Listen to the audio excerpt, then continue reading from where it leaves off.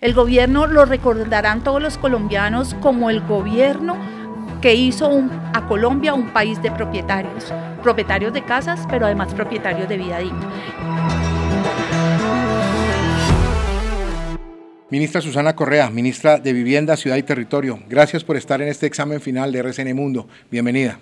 No, muchísimas gracias a ustedes por esta invitación. Para mí es siempre ha sido y seguiría siendo un honor estar con ustedes. Ministra, ¿le tocó a usted bailar diría yo, con la más fea. Tres, cuatro meses rematar una gestión que había hecho el ministro Jonathan Malagón, pero usted venía de darse una batalla muy dura con todo el tema de Providencia. Usted había estado en el DPS haciendo todo el tema de lo social. Llega el huracán Iota y el presidente le encarga la reconstrucción de San Andrés y Providencia y todos los daños que vinieron y que provocaron el, el huracán Iota. ¿Cómo fue ese paso de hacer lo que estaba haciendo en Providencia, asumir por unos meses el Ministerio de Vivienda y entregar unos logros que ya los vamos a compartir. Bueno, yo creo que eh, no fue difícil. Habían temas entre Prosperidad Social y el Ministerio de Vivienda que teníamos en común.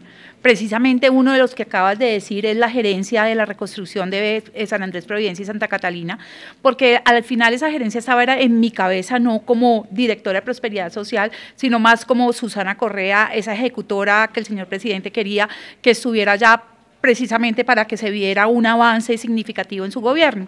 Entonces, eh, otro tema que teníamos en común era Casa Digna Vida Digna. Casa Digna Vida Digna es un, es un programa eh, precisamente tratando de cubrir ese déficit cualitativo que había en Colombia, un programa de mejoramiento de vivienda donde también articulábamos Ministerio de Vivienda, Ciudad y Territorio con Prosperidad Social. Entonces, habían unos temas similares, eh, agua, servicios públicos, pues lo había manejado antes, cuando estuve en Cali, en, la ciudad de Cali, en un gobierno anterior, y, bueno, yo creo que habían temas que podrían tener alguna, eh, no solamente similitud, sino relación con la experiencia que había tenido. Y eh, sí, fueron cuatro meses en donde quisimos hacer muchísimo, eh, falta pues todavía unos días, yo digo que todavía no se ha acabado el tiempo, el tiempo es hasta el 7 de agosto y yo espero sobre todo en, en ejecución mostrar resultados. Sin embargo, ya las cifras hablan por sí solas. Se está hablando de más de 240 mil subsidios que es una cifra bastante, bastante importante. Y yo creo que este gobierno eh, tiene eso. El gobierno lo recordarán todos los colombianos como el gobierno que hizo a Colombia un país de propietarios, propietarios de casas, pero además propietarios de vida digna. Y es ahí cuando hablamos de esos 245 mil eh, eh, subsidios, en los cuales 197 mil son de vivienda de interés social. Y vivienda de interés social donde el 73% es para colombianos que se ganan menos de dos salarios mínimos mensuales vigentes. O sea, ahí estamos no solamente dando vivienda, sino que tenemos un factor social inmenso y súper importante. Y 51.028 son de los subsidios de Novis. Ministra, ¿qué le faltó por terminar? Como usted nos viene eh, comentando, hay algunas cosas que están pendientes que usted hubiera querido tener más tiempo y que son tarea del nuevo gobierno del eh, presidente electo Pues yo creo que dentro del ministerio, ejecución. Y te voy a decir que viviendas rurales, tenemos alrededor más de 6 mil viviendas por hacer. Viviendas de reinsertados, yo eh, quiero cerrar antes del 7 de agosto con que el señor presidente pueda entregar por lo menos, por lo menos 50, y las viviendas de Mocoa. Las viviendas de Mocoa teníamos 906. Eh, yo espero que antes del 31 de julio el señor presidente pueda eh, entregar 84.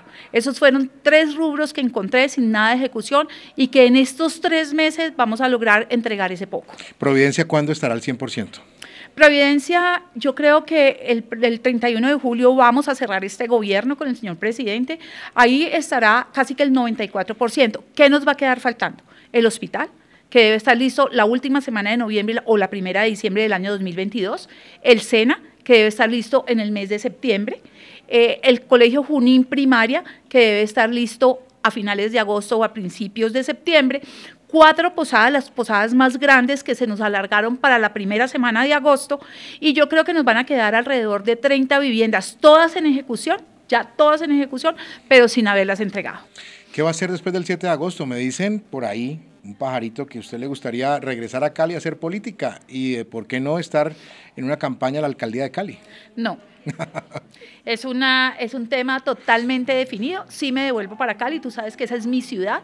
Eh, pero yo creo que ya es el momento de dedicarle a la familia y sobre todo de ir a ayudar en los negocios familiares.